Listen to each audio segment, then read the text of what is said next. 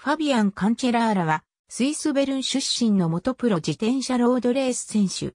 カンチェラーラ、カンチェララ、カンセララ等と表記されることもある。2001年にマペイクイックステップでプロデビュー。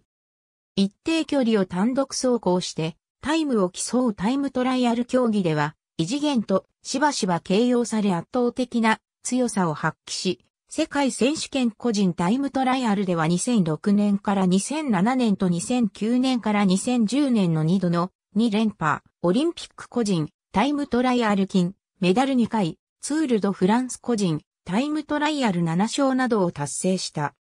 タイムトライアルスペシャリストだが、その独走力を利用して、モニュメントレースでも合計7勝をした。1998年1999年世界選手権、ジュニアタイムトライアル2連覇を達成している。2000年9月よりマペイクイックステップにトレーニー契約で入団した。同期入団にマイケル・ロジャースやフィリッポ・ポッツァート、ルカ・パオリーニがいる。契約後に開催された世界選手権 U-23 タイムトライアルで2位。この時の1位は翌年からチームメイトとなるエフゲニー・ペトロフだった。2001年にマペイと本契約を結びプロに転向。同じタイミングでマペート本契約を結んでプロに転向した選手には先日のロジャースやペトロフの他にダニエレ・ベンナーティやベルンハルト・アイゼルらがいる。2002年は7月末までマペーのサテライトチームに所属していたが、8月からはトップチームに復帰した。復帰後に開催されたスイス選手権男子エリートの個人タイムトライアルで優勝した。2003年にファッサボルトロに移籍してからは、アレサンドロ・ペタッキのアシストとして注目を浴びるとともに、自身も2003年にツールドロマンディアツールドスイスのプロローグを制するなど、タイムトライアルの実力に磨きをかけていく。2004年は再び、スイス選手権のタイムトライアルで優勝したほか、ツールドフランスプロローグの個人タイムトライアルで、ランスアームストロングに2秒差をつけて勝利。グランツールでも初のステージ優勝を果たす。2005年はスイス選手権のタイムトライアルを連覇したほか、世界選手権の個人タイムトライアルでも3位に入った。2006年にチーム CSC へ移籍。パリ・ルーベを制してクラシックでの初勝利を達成したほか、ティレーノ・アドリアティコやカタルーニャ一周の個人、タイムトライアルステージでも優勝し、スイス選手権のタイムトライアルでは3連覇を達成。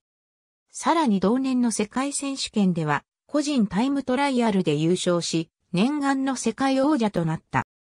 2007年にはツールドフランスのプロローグの個人、タイムトライアルで圧勝し、イオ上ヌに袖を通し、第3ステージではゴールまで 1km の地点で集団から飛び出し、自慢の独走力を活かしてステージ優勝をもぎ取るなどして第6ステージまでイオ上ヌを守り、レース序盤の主役となった。また、スイス選手権のタイムトライアルでは4位連覇を達成。世界選手権の個人タイムトライアルでも2位のラスロ、ボドロギに52秒以上のタイム差をつけて圧勝し、マイケル・ロジャースに次ぐ史上2人目の連覇を達成した。2008年は所属チームからメインスポンサー CSC の撤退が決定する中でのシーズン入りとなったが、いきなりティレーのアドリアティコ総合優勝、モニュメントレースであるミラノサンレモ優勝とビッグレースを連勝し、ツールドフランスではジャージに13番のゼッケンを天地逆に貼って登場。2ステージ設けられた得意のタイムトライアルステージでは、いずれもステファン・シューマッハーの後陣を排したものの、アシストとして同僚であるカルロス・サストレの個人総合優勝とチーム優勝に大きく貢献。8月に行われた北京オリンピックでは、ロードレースで銀メダル、個人タイムトライアルで金メダルを獲得する活躍を見せた。しかし、その後は調子を落とし、世界選手権は病気のために欠場した。2009年は前年後半からの不調が続き、春先のクラシックでも目立った成績を残せず、ジロでイタリアも途中で棄権してしまったが、ツールドスイスの第1ステージ TT で2位のロマン、クルイジ側に19秒差をつけて圧勝。そのまま第4ステージの長級山岳コースまでリーダージャージを保持した。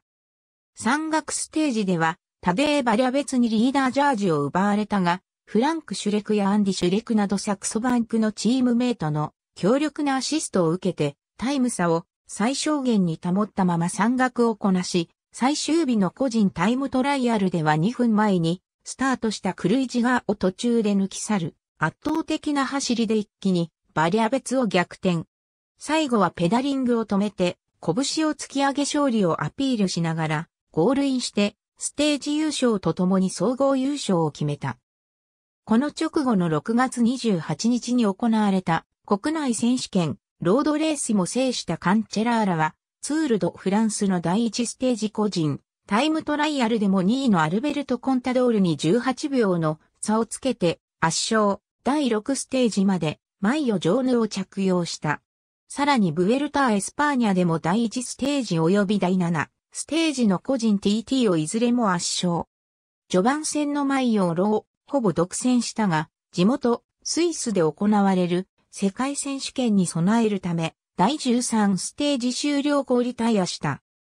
その世界選手権の個人 TT では、序盤から圧倒的なタイムを刻み、一人前にスタートして、最終的に2位となるグスタブ・ラーションはおろか、二人前にスタートしていたブラッドリー・ウィギンズ、さらに4人前にスタートしたセバスティアン・ロスレルまでも抜き去る異次元の走りを披露。最後は全力走行を止め、観客の声援に応え、両手を突き上げてゴールしたが、それでも2位のラーションに1分27秒の大差をつけ2年ぶり3回目の世界王者に輝いた。2010年3月、イーサンプライスフラーンデレンでトム・ボーネンを最後の 1km で置き去りにして優勝。4月に入った翌週に行われたモニュメントレースであるロンドファン・フラーンデレンでも最後の40キロ地点直前でトム・ボーネンと共に抜け出し一騎打ち状態となったが、カペルミュールの上りで瞬時にボーネンに20秒近い差をつけて独走。スイス国旗を掲げながらのゴールで初優勝を飾った。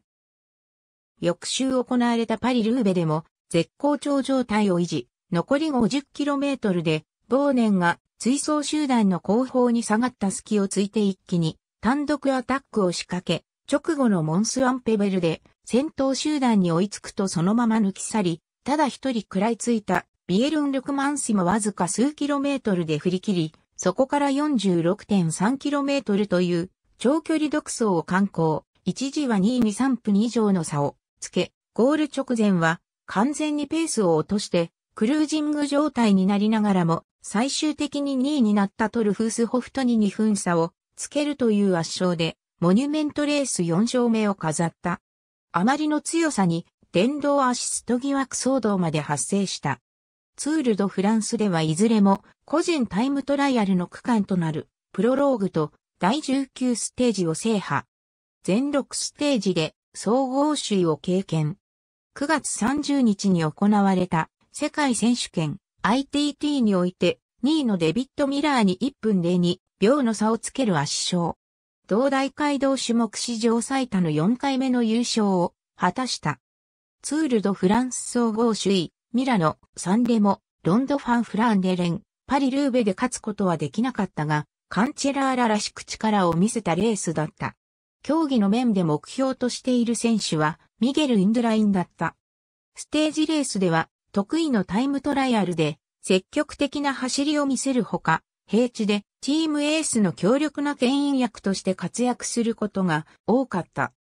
単独走行での素晴らしい高速巡航能力を活かし、ゴールスプリントが発生する直前にアタックを仕掛けて、独走で逃げ切るという戦法も得意としており、ツールドフランスやツールドスイスでもこの戦法を駆使して、ステージ勝利をいくつかものにした。